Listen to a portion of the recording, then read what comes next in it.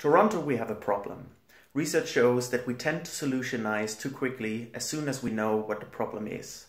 Yet it's fairly difficult for organizations to define a right problem statement.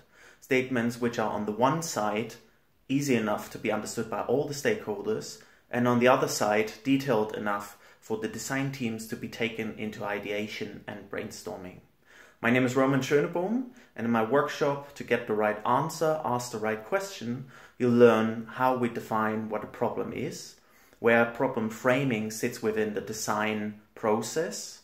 I'll share some examples and frameworks with you, and you will get to know how you use your problem statement to scope your project.